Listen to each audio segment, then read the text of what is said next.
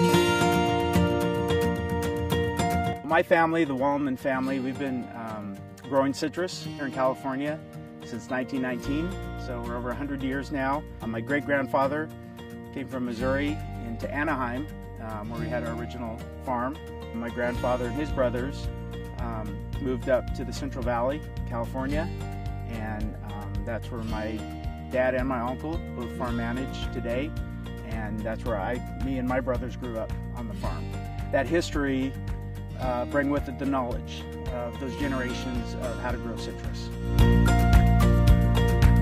The most challenging thing about growing and um, farming sumo citrus is everything is done on a sumo citrus tree by hand, where you've seen modern technology efficiencies to, to mechanize the tree care all the way up to even harvest. Sumos are, are thinned by hand, you, shape and, and, prune the tree by hand, obviously picked by hand. The harvest is done um, slowly to care for the fruit.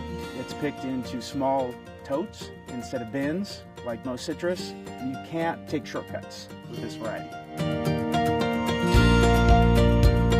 What I love about Sumo Citrus is just how unique it is. We work together year round to develop this program that is only in the market a few short months. So that's what's exciting for me is to see the fruit in the store and seeing how excited consumers get, customers get to, to go in and buy it.